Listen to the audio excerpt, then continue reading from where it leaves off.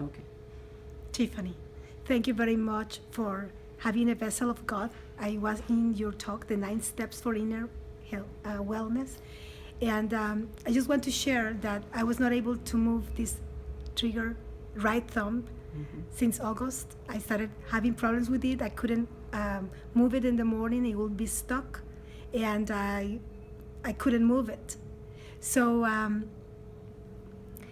one day it got totally stuck. It was around September. I had been standing up with a massage ball in my hand and I was in an interpretation and then it got stuck and I could not move it at all.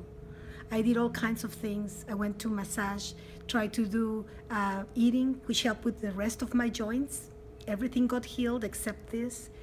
I had an appointment to go uh, Monday with a physical therapy, and um, I've been going to chiropractics.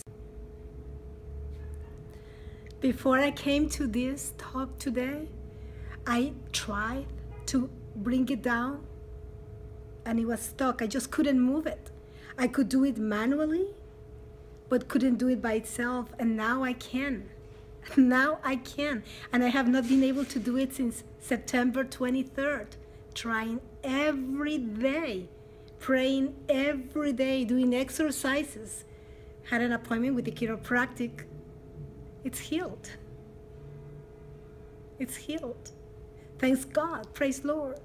Thank you really for giving us this talk through Tyffany and thank you my God for giving me the mind and the faith that comes from you. Thank you. Amen. Amen.